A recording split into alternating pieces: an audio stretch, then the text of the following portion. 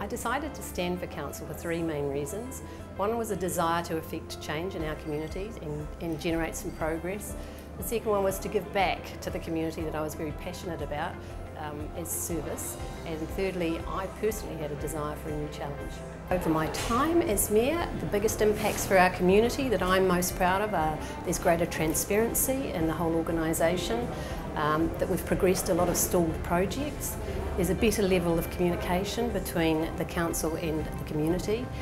Uh, and that I've worked hard to break down internal and external barriers. So we've gone from a very parochial council to a very um, outward looking council.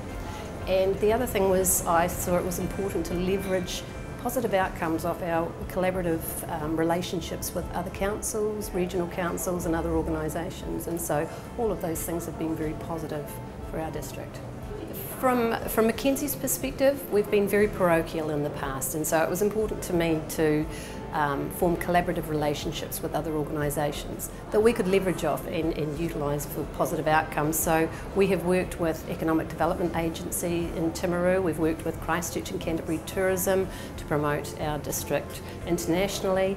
And we've worked with the local councils and the regional councils very closely. And we've been able to, through that, uh, have the resources to do the things that we couldn't otherwise do as a small rural council.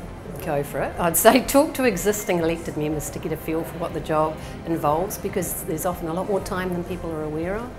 Read the agendas and attend the meetings so you can see what the businesses that councils are dealing with and have confidence in yourself because it's really important that there's a, a variety of people sitting around a council table making decisions. They shouldn't all be the same. I don't think that's healthy at all.